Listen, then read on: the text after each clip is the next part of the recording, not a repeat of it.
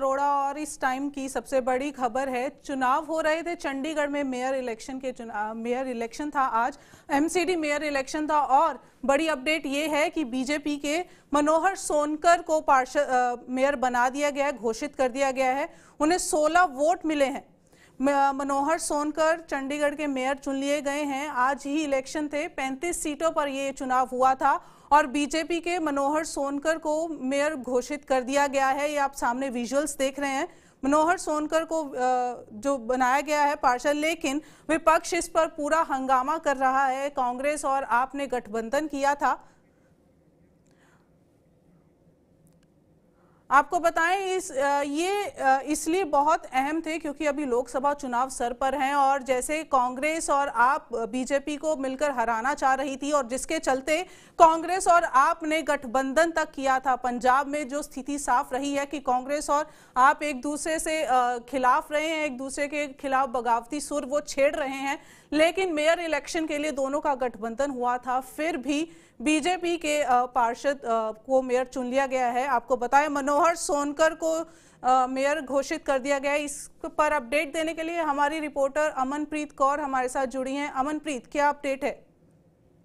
देखिए, आपको बताना चाहेंगे कीर्ति जिस तरीके के आज जो मेयर चुनाव हुए हैं पहली बार इतिहास में हुआ इस तरीके के मेयर चुनाव में कि इतना हंगामा भरा रहा, हाई कोर्ट का रुख किया, जैसे ही प्रोसेस शुरू होता है, पहले समझाया जाता है, उसके बाद कहा जाता है, लेकिन जब वोटिंग खत्म होती है, जब काउंटिंग शुरू होने लगती है तो कांग्रेस की गुरबख्श रावत और भाजपा के जो थे मनोज जो जोशी है, वो आपस में भिड़ पड़ते हैं। उनका सिर्फ़ एक मांग थी कांग्रेस की और आम आदमी पार्टी की कि जो भी ऑफिसर है, क्योंकि इनकी तरफ़ से दो ऑफिसर्स लगाए जाते हैं कि जो भी काउंटिंग होगी वो ऑफिसर्स के सामने होनी चाहिए। दोनों ही सीट जो दो, दो दोनों ही पार्टीज़ के। लेकिन ये पहली बार ऐसा हुआ है कि जो काउंटिंग की गई वो प्रिसीडिंग ऑफिसर की तरफ़ से अपने आप फटाफट की गई। ना तो जो ऑफिसर्स लगाए गए थे ना उनको वहाँ दिखाया गया। बकायदा उनको दिखाया जाता है। उसके बाद जो है वोट का अनाउंस किया जाता है। वो उन्होंने सीधा सिर्फ़ अनाउंस किया कि 16 जो वोट है वो भाजपा को मिली है। बाकी जो वोट है वो आम आदमी पार्टी और कांग्रेस के अलायंस को मिली और जो आठ वोट है, वो पूरे तरीके से उन्होंने इनवैलिड कर दी है।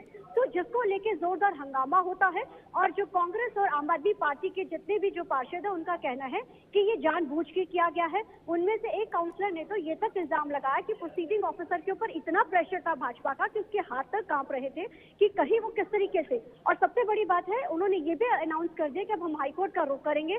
किस तरीके से इन्होंने बिना ऑफिसर के काउंटिंग कर दी उसके बिना ऑफिसर को दिखाए इन्होंने उस चीज़ का अनाउंस कर दिया, जबकि ऐसा कभी नहीं होता था।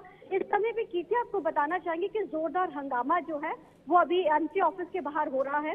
आम आदमी पार्टी और कांग्रेस के जो काउंसलर्स हैं, वो कह रहे हैं कि डेमोक्रेसी की तरफ़ से सबसे बड़ा जो है, आज काला दिन है डेमोक्रेसी का, क्योंकि भाजपा की तरफ़ कहीं ना कहीं जो आज एक बार फिर से जो है अपनी गुंडागर्दी दिखाई गई, जो उनके वर्ड हैं ये, कि उनके तरफ़ से ये जो चीज़ की गई है तो लगातार हंगामा इस समय भी जारी है।